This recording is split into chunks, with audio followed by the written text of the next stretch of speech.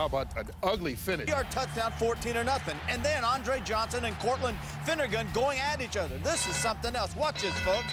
Now, you talk about a fight. This is serious stuff. This is Jimmy on your left, and that's Howie on the right. And that's how we warm up for the pregame show.